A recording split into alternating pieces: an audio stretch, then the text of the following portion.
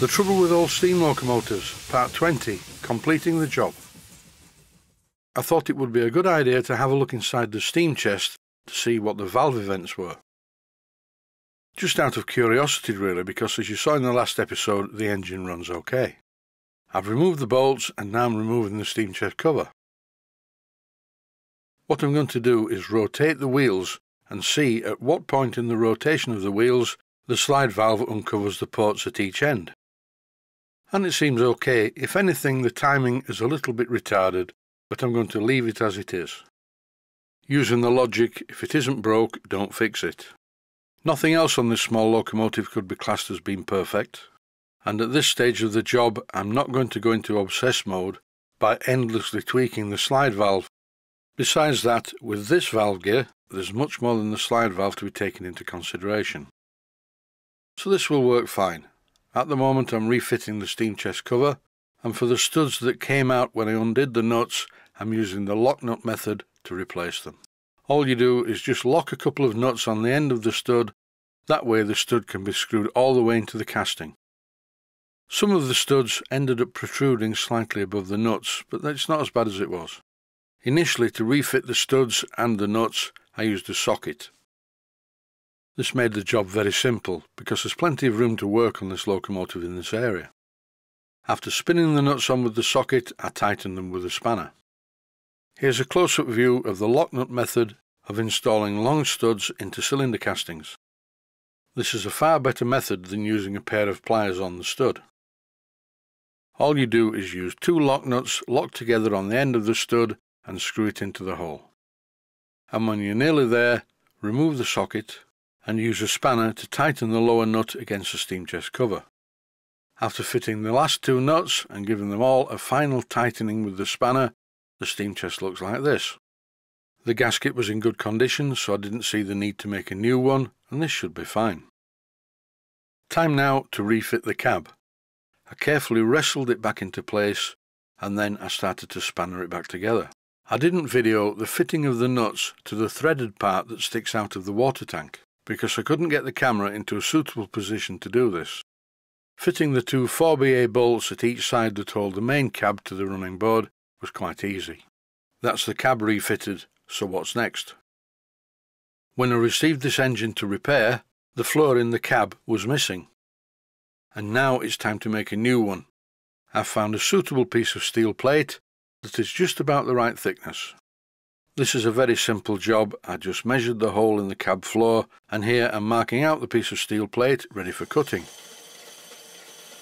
For this job I'm going to use my Burgess bandsaw. This blade is not a good blade, mainly because when I fitted it I got confused and I screwed up the new blade and threw it in the bin. Why did I get confused? Well, when you make videos like these you have to give great attention to the camera, focus, angle, etc, etc and I was too busy doing that and I just forgot when I picked up the blade to screw it up and throw it in the bin. I got the new blade out of the bin, bent it back into shape and fitted it to the bandsaw and that's why it makes a bit of a strange noise. After cutting out the new floor using the bandsaw, I then used my 4 inch belt sander to clean up the edges and it fits perfectly. It just needs cutting to accommodate the piping. I've marked out the positions where I'm going to cut the floor so it's back over to the bandsaw to cut out these two pieces. And now it looks like this, and it fits really well. It's a tight fit in the hole and snaps in place. The floor doesn't need any fixings to hold it in place because the right hand side of it slides under the coal bunker. All I need to do now to finish the job is paint it, but before I do that, preparation is everything. In this clip, at high speed, I'm scoring the surface using some 100 grit emery cloth. By doing this, the paint will stick firmly to it. If I painted the normally smooth surface of a piece of mild steel, the paint would probably flake off over time. I'm scoring both sides because I'm going to paint both sides. Here's a top tip, I want to paint both sides at the same time. And I'm doing it like this. I only drew round the part just for effect, to show me where to hammer in the pins.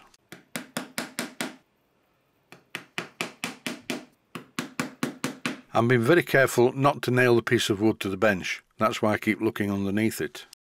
Here's the principle. The piece of metal sits on the pins. I paint one side, then I turn it over. And so, okay, there will be four slight marks on one side of the paint, but that's going to be the underneath, so it's not going to be a problem. And the general idea is I will paint the underneath first. And I'm using the Autopaint Northern etching primer that I normally use. After shaking it for several minutes, I give the part a good coating. It's better really when using etching primer to spray it on thinly. That's the underside painted. And now I'm turning it over, sitting it on the pins, and now it's time to paint the top surface. This is the one that will show, so it needs to be quite well painted. Also, I'm not forgetting the edges. A few hours later, it's time for the top coat, and for this I'm using HMG Satin Black Paint. This is a spray enamel, it's really good stuff, from HMG Paints. I've put the website addresses on screen for both Autopaint Northern and HMG Paints, so if you want some of this stuff, that's who to contact. This HMG Paints Satin Black is what they use at the Steam Workshop, that's where I first found out what it was. And it's a perfect finish for the frames of steam locomotives. Oh yes, and floors. That's about it for this series. I'm unable to steam test this without help, if the owner of the engine wants me to steam test it when he picks it up, I will, but I'm sure it will work fine anyway. It really is a good deal better than it was when I received it to repair it. As far as I'm aware, now the engine is repaired and a runner, it has a boiler certificate, and the owner is going to put it up for sale. But that's my part of the job done. Thanks for watching, and I hope you found it useful. Please take the time to visit my Mainsteam Models website click on the section of the website that says Video Playlists. And by doing that, you will find it very easy to find other videos that you may like to watch.